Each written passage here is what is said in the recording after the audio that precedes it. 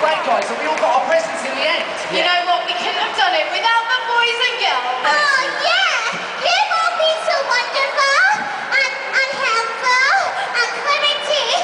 Yeah, Candy Plus, like, they're a bit like me, really. Whoa! Wait a minute, guys. How did the presents get mixed up in the first place?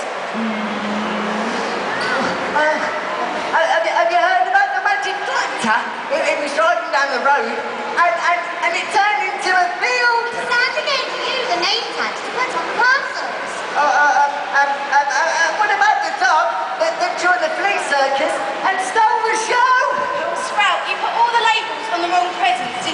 And, and uh, what, what, what, what's big, green and ugly and never smiles? Yeah! Now, incredible soul.